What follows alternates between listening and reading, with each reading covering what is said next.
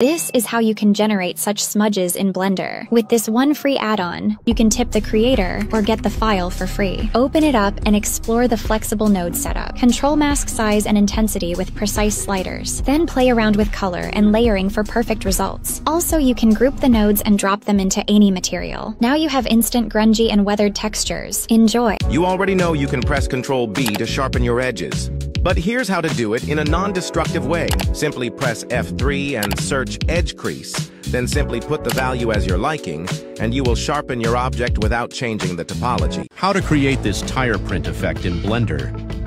Add plane and subdivide it. More subdivision creates more realistic results. Now import a tire 3D model and animate it using empty object. Keep in mind that tire must be intersecting the plane. Select Plane and select Dynamic Paint in Physics tab. Add Canvas and set the values as shown. Select Tire and select Dynamic Paint again in Physics tab, but now select Brush. Play the animation to see the result. Shade smooth the mesh to make it smoother. Now we will add some more subdivisions to add some extra details. Press play, you can see the tire looks more accurate than before. Now add some other tires. Now add textures on the plane. Also add displacement texture to make it more detailed. Now add textures on the tire also.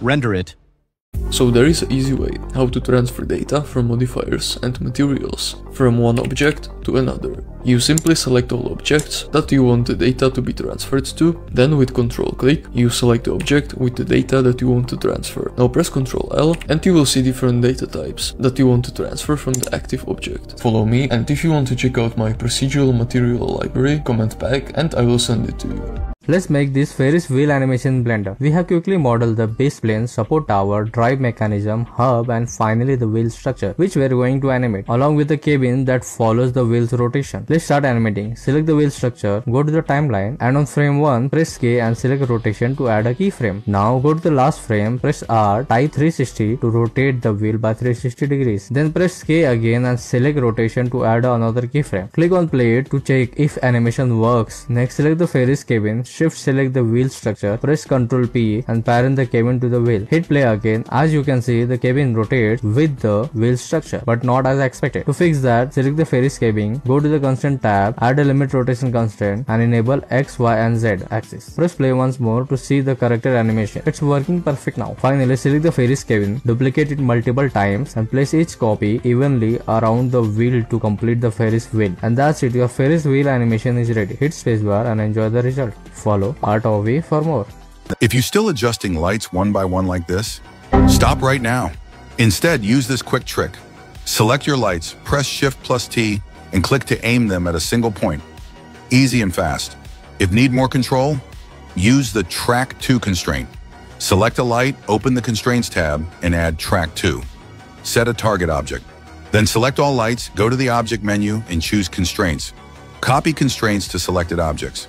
Now all lights will stay aimed at the target, even if it moves. Lighting made easy. Follow for more Blender tips.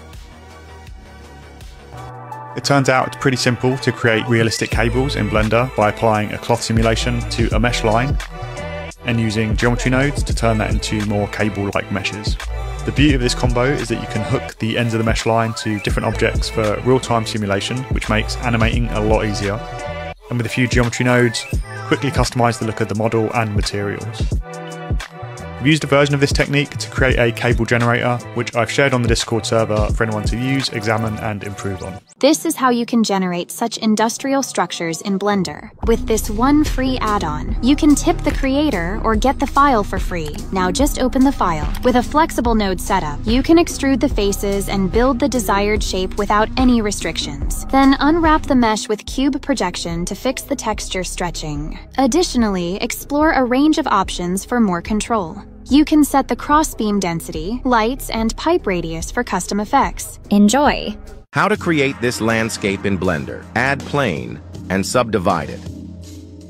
Now add some displacement to plane by using displacement modifier and cloud texture.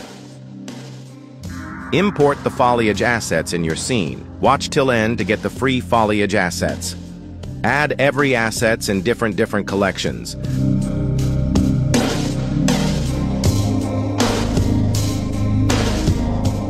Now add particle system on the plane and follow the instructions as shown.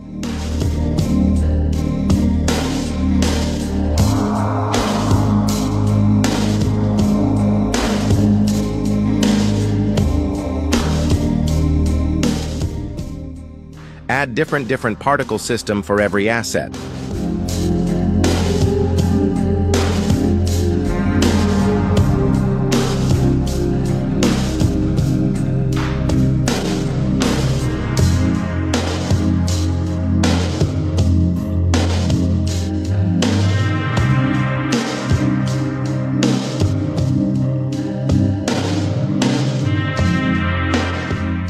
Add your subject in the scene, add a HDRI for lighting, and also add glare in compositing tab.